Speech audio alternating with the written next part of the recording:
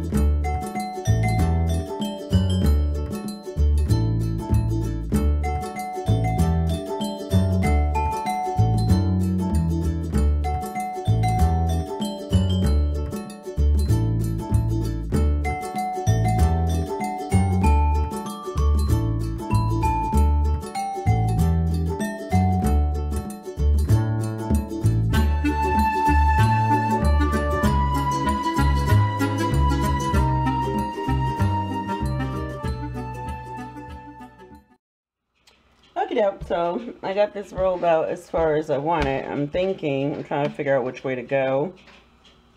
Um, I think I want to go the way it's laying, facing me. And now I'm going to dust this with um, a little bit of baking soda. And I'm going to flip it over because although my purple was on the inner side, I want my purple to be on the outside. And I don't mind the white and pink being on the edges, the ring around it. No bother for me. So, get a little bit, just a little, like that much of baking soda. And just kind of sprinkle it around and then rub it on there. And why, why am I doing this? It's just like baking, you know, you make a jelly roll. Um, so it doesn't stick to the paper. That's why I'm doing this. Because uh, if it sticks to the paper, then it's going to tear all up. So, that's enough of that. And now I'm going to flip it back over so that the purple can be my outer side. Now let's see if I can be as swift as I was last time. yeah. I don't know what career involves that, but you know, I might be good at it. so, okay, so now I'm just going to take my hands and kind of smack that all back together. Oh my gosh, I need a separate workshop for uh, bubble bars and bath bombs because tussah silk that goes in my soap is just everywhere. Okay, so I think that's good enough. I'm still undecided which way do I want this to go. I think I changed my mind and I want it to go this way. Okay, so now I'm going to start the rolling process. Gonna tuck that in, just like that.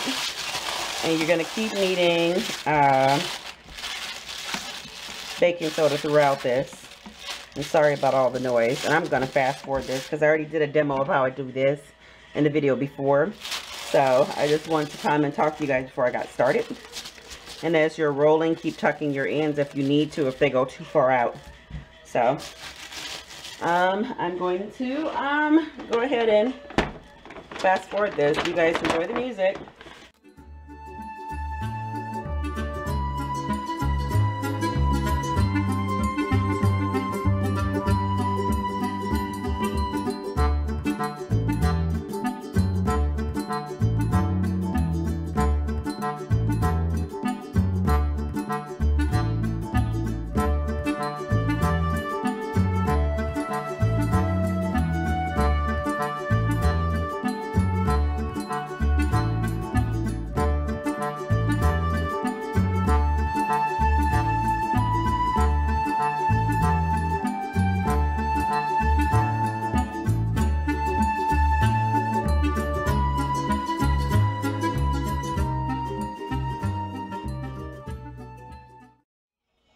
Alright, so now what I'm doing is just kind of smoothing it out. And what this is, is a dough scraper by Betty Crocker. I got this from the dollar store. Um, you don't need really expensive tools to make bubble bars. You really don't. Um, I'm going to keep rolling this. I just want to come and tell you guys about the tools that I use. Um, if you don't have a... Uh, stand mixer like a KitchenAid or something, then you can just simply use um, a hand mixer like I did in my video where I first made these. And um, you can use a rolling pin or you can use your hands, uh, whatever works for you. Um, to roll it out, to me, it's easier to use a rolling pin. And if, you know, don't go wasting a whole bunch of money and don't use what you use for cooking either. Just go to like the Salvation Army or your local thrift store or, or charity shop and find one there. They always have them. That's where I got mine. so, um, yeah. So now I'm going to go ahead and finish smoothing this out and then I'll bring you guys back for the cut. Okay, doke. So now I got it all smoothed out and I'm ready for the cut. Um, just kind of rub it out and keep playing with it till it feels right to you. And this is a very, very good texture. I could let this rest for a while before I cut it. But for the sake of you guys seeing the cut, then I'm going to go ahead and do it on video. Um, just number one rule is make sure your ends are kind of tucked in tight, like a tight, you don't want to see like this on your ends. You want it to be more like that, where you can't see anything. Um, and also the fragrance that I use on this is Love Spell Type um, by Victoria's Secrets this always seems to be a favorite whenever I make it. And what's crazy is it's like extremely popular amongst men. They just love to smell it on their women. so, um, yeah, every time I make it and take it to my coworkers, the guys, which I work with mostly guys, they all go gaga. So I'm going to show you this piece, and this is really cute. So what I like to do, like the ends are always going to be the loosest. I'll just kind of take them and um, roll them around, like kind of press them together like that and kind of form them because they're always going to be the wonkiest because they the ends. And I should have cut this end off, but no big. Somebody's going to want it. It's a bubble bar. so uh, these will be in the shop by the time you guys see this video. They will have been in the shop for a couple of weeks. Hopefully I still have some. Um, so go and check. Um, you can find the link to my shop at the end of this video. It's a circle with a soap in it, or you can wait until um, you're done watching the video and scroll to the description box. You can find it there as well. So I'm going to go ahead and cut all of these. And I'm going to make some more just because I want to have enough for my craft fairs. And don't worry about like the little pieces that hang out the back because you can simply tuck those back in. I'll show you how to do it. And you don't necessarily have to use, I mean roll it. You can use cookie cutters to make different shapes as well. If you don't think you can get the hang of rolling like a jelly roll or sushi or whatever. Yeah, I love, love, love this recipe. And last time, uh, and I hate to say stuff like this, but sometimes you have to. Last time I posted this video, I had a few people saying, oh, you weren't helpful at all. Uh, why can't you give us the recipe? So here's the thing that people need to understand about people like myself who are soap makers and bath bomb and bubble bar and any uh, cosmetic bath and body maker. We work hard to... Uh, And I know I'm going to get a lot of thumbs down for what I'm about to say, but I really don't care. We work really hard to create these recipes. And um, Nicole over at Two Wild Hares. I mean, she's awesome. She came up with this awesome, awesome, awesome recipe because, and the thing is, you won't go to Lush and ask them, give me your recipe and get mad at them and curse them out if they don't give you their recipe. You just accept that. You're to pay $10 or however much it costs for a bubble bar and you walk out the door with your bag and you go home and use it. But for a, um, small business, you expect to get things free. And when I say you, I mean for the people who actually ask these types of questions. Um, I had no problem with paying for her recipe. I even saw on her website that somebody said $10, I mean $20 was too much. No, it's not. Because do you know, you got to think about how far that $20 is going to take you, um, what type of headache you're not going to have because you got a recipe that actually works very, very well. So, um, you know, support one another. That's the whole purpose of me saying this support one another. Everything can't be free.